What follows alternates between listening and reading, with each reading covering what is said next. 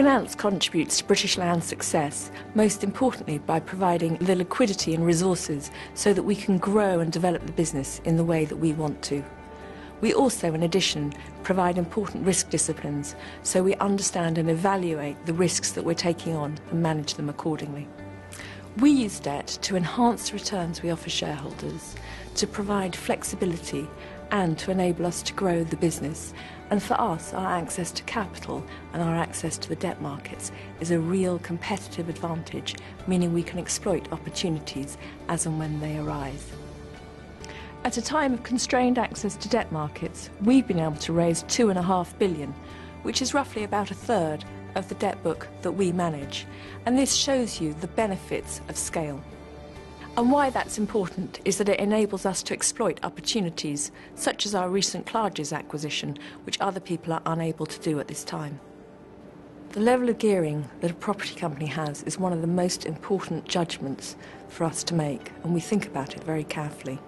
At British Land, we've settled on a 40 to 50% gearing range, which reflects the strength of our operational business, the strength of our cash flows, and the way that we manage the debt book, and in particular, our refinancing risk. In settling on this level, we're weighing up both the returns one gets from owning more property through borrowing to buy property against the risks that debt necessarily entails. We have five guiding principles that govern how we manage the debt book. The first one is to diversify our sources of finance. We borrow from a large range of lenders, and I was particularly pleased recently to access the convertible market and raise 400 million pounds. Another important principle is maintaining liquidity, so we ensure that we always have a good level of undrawn, available, unsecured revolving bank facilities.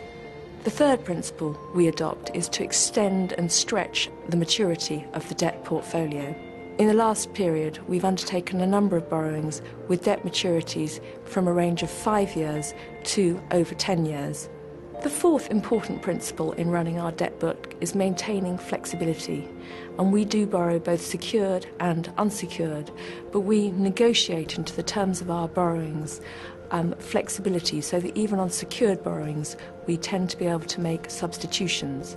The level of our bank facilities is also very important for that flexibility so that we can repay debt as and when it suits our business. Finally, it's important to maintain strong balance sheet metrics to maintain access to the debt markets. And our metrics are strong. Our weighted average interest rate has now fallen to a very competitive 4.4%, and our interest cover has improved from 2.2 times to 2.3 times covered today. We use debt to enhance our returns for shareholders and to provide us with flexibility I was particularly pleased with our convertible bond issue. We were the first of the European real estate companies out of the blocks after the summer, and we launched for a convertible issue of 300 million, and the demand was such that we increased the offer to 400 million, and we closed the issue in just over three hours with a borrowing cost of 1.5%. As a shareholder said to me recently, that's almost free money.